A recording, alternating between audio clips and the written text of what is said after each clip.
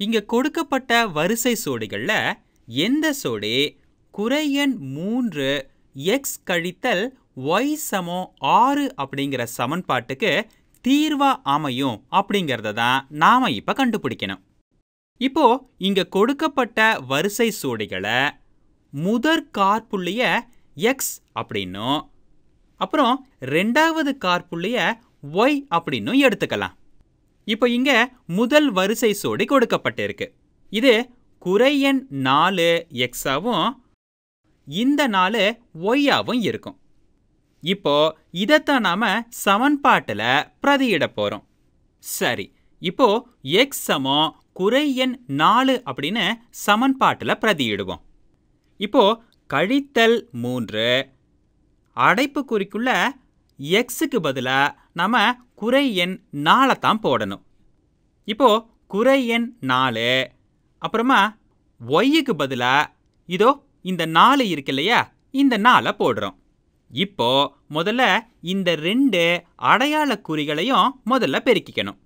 அதாவது கழித்தல் பெருக்கல் கழித்தல் அப்படிங்கிறது கூட்டல் ஆகிடும் இப்போ நாம் எண்களை பெருக்குவோம்.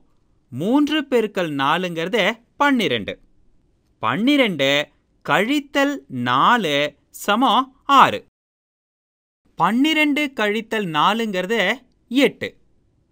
ஆனா இந்த எட்டு ஆறுக்கு சமம் ஆகாதே.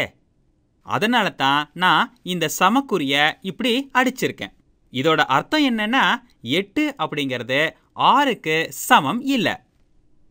அப்படி பார்த்தா இது நம்மளோட விடையா இருக்க முடியாது. சரி இப்போ நாம அடுத்த வரிசை சோடியை பார்த்துடலாமா? நமக்கு இங்கே குறை எண் மூணு அப்புறம் மூணுன்னு கொடுக்கப்பட்டிருக்கு.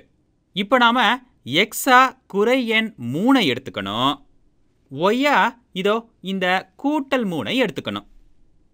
சரி இப்போ சமன்பாட்டில் எக்ஸுக்கு பதிலாக குறை எண் மூணை பிரதியிடலாம். சமன்பாடு குறை எண் மூணு அடைப்புக்குள்ள எக்ஸோட மதிப்பான குறை எண் மூணு. அப்புறம் ஒரு கழித்தல் குறி ஒய்யோட மதிப்பான மூணு சமம் ஆறு. இதுவும் நாம முன்னாடி செஞ்ச மாதிரி தான் முதல்ல இப்போ இந்த குறிகளை பெருக்குவோம். கழித்தல் பெருக்கல் கழித்தல் அப்படிங்கிறது கூட்டல்னு ஆயிடும். அப்போ மூன்று பெருக்கல் மூன்றுங்கிறது ஒன்பதுன்னு மாறிடும். அதாவது கூட்டல் ஒன்பது. அடுத்ததா கழித்தல் மூணு சமம் ஆறு. ஒன்பது கழித்தல் மூணுங்கிறது ஆறு தானே? அப்படின்னா ஆறு சமம் ஆறு. ஆ இதில் தான் நம்மளோட விட சரியா வருது. ஆக ரெண்டாவது வரிசை ஜோடி விடையா அமையுது.